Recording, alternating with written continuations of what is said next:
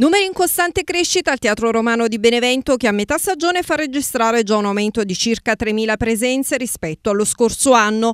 Un'estate all'insegna dell'arte e della cultura per il Sagno che continuerà con numerose iniziative. Nel um, primo semestre, diciamo fino a, a ieri, eh, siamo oltre i 3.000 um, 700 visitatori in più in rapporto al 2018, stavamo 11.000 e qualcosa nel 2018, siamo a 15.000 e oltre adesso. Si prevede diciamo, che questo trend eh, di aumento intorno al 37% possa essere mantenuto per tutto l'anno. E da quest'anno al Teatro Romano di Benevento torna anche la grande lirica. Ho voluto che si coniugasse il patrimonio culturale con, eh, con la musica e con la lirica. Eh, non è da poco avere il 4 agosto eh, eh, un Rigoletto con la regia di Katia Ricciarelli, eh, l'11 agosto i Pagliacci con la regia di Vittorio Sgarbi e il 7 settembre eh, la Vedo Allegra che sarà a cura del eh,